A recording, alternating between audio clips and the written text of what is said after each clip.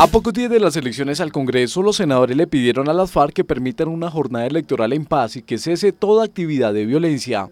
Es decir, que cero atentados terroristas, cero reclutamiento de menores, cero atentados contra la fuerza pública como requisitos para continuar en un proceso de paz. Sectores liberales afirman que los actos de los violentos deben ser opacados por la voluntad masiva de los colombianos por lograr la paz. Yo sigo insistiendo en, en generar todos los días ese huracán por la paz para que quienes están sentados en la mesa sientan que el pueblo colombiano definitivamente lo que busca es la terminación del conflicto armado. Por su parte, el senador Antonio Guerra dijo que espera que el proceso de paz no esté condicionado a la reelección del presidente Santos. A pesar de que no se ha reflejado en las encuestas de favorabilidad, lo que se ha venido haciendo y adelantando con los diálogos en La Habana, no es menos cierto que también se requiere una continuidad en ese proceso. Los senadores lamentaron que más de 200 municipios estén en riesgo electoral por presiones de grupos armados ilegales.